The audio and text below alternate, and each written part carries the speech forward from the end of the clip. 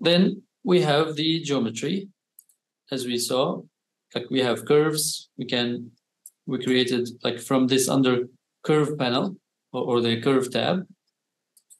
We can create circle similar to the one that we have here.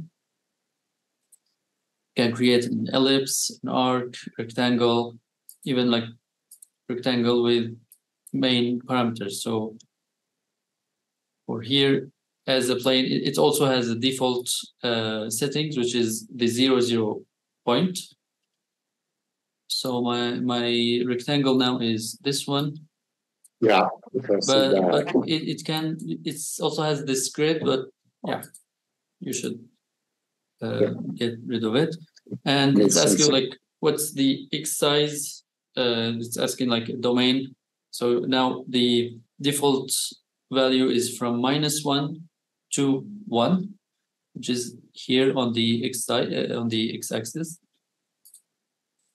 If this Okay. is the zero, If that's zero, minus so- one, yeah. Double click out and if I choose big numbers, if I say like fifteen, it will directly create an- a number slider. And I will plug fifteen here and twenty-five here.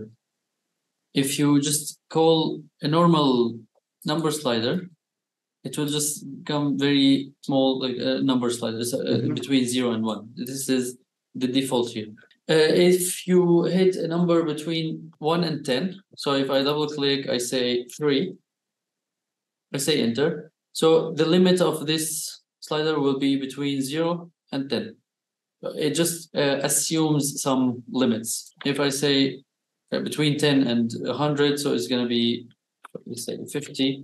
It will create limit of hundred so just zero. doubles, Uh-huh doubles something. the Okay. digits. For example, if you called a number slider, which is like this, the basic one, and you, want to expand or extend uh, the limits as you want, so you just double click on on the on the name here, and you control everything of this slider from here. So now Wow. it's saying what's the numeric uh, domain?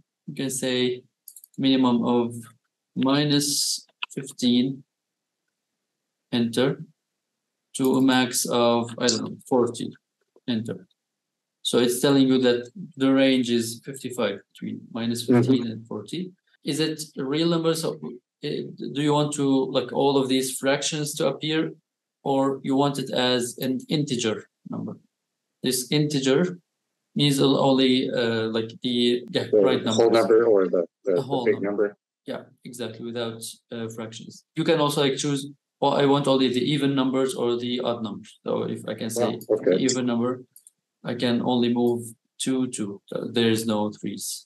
And it's between 40 and minus 16. Or, yeah, usually this, um, the integer, what was it called? The full number. Say okay.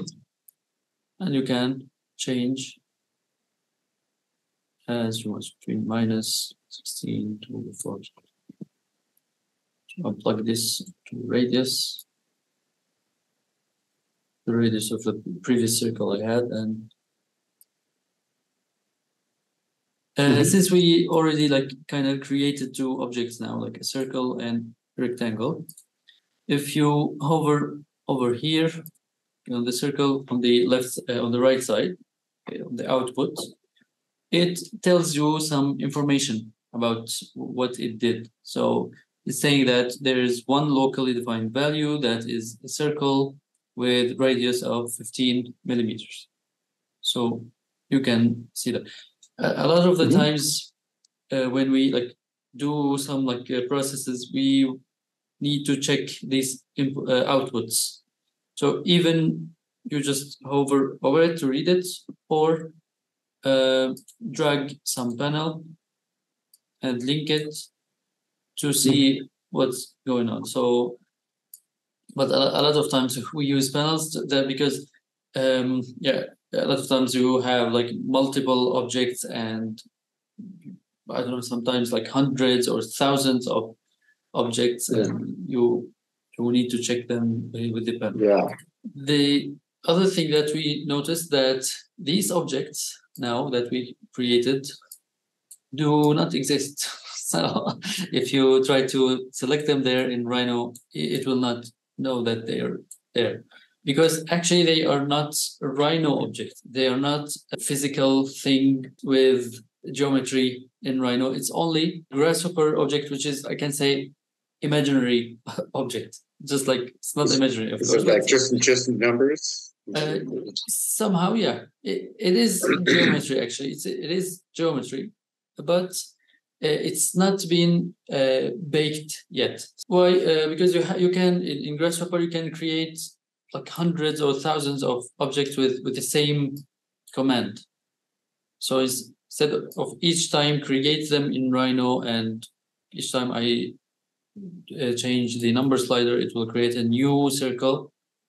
Then uh, what they do is they leave the object created only as a grasshopper object. And when i'm done with it when i say yeah i don't want 15 of radius i want for example 30 Mhm. then i can bake it to be a, a rhino object. So now i double click and i hit bake uh, now it's asking where to bake on the default layer anything say okay now, if I go to Rhino, I will see it's uh, baked. Unbake is just delete because well, once it's baked, uh, it's not connected to Grasshopper anymore. Everything you're doing on Grasshopper is like the recipe that you, you put some, I don't know, eggs, flour, and sugar. And then when you want, like when you're done with this thing, you can just bake it and it becomes a cake there. So yeah, whatever. Nice, interesting. Yeah, that's a good analogy. Yeah. That's, Yeah, this is also another thing that um, you should know about grasshopper and uh, rhino. Uh, let's think also like in grasshopper, like before we step to each. Uh, in the next sessions, I will like each one of these tabs. I will walk you through them and show like the main commands. There are like tens or even hundreds of uh, commands and uh, uh, yeah, or, or there's components that we can use, also like similar to the ones that we had in Rhino and so.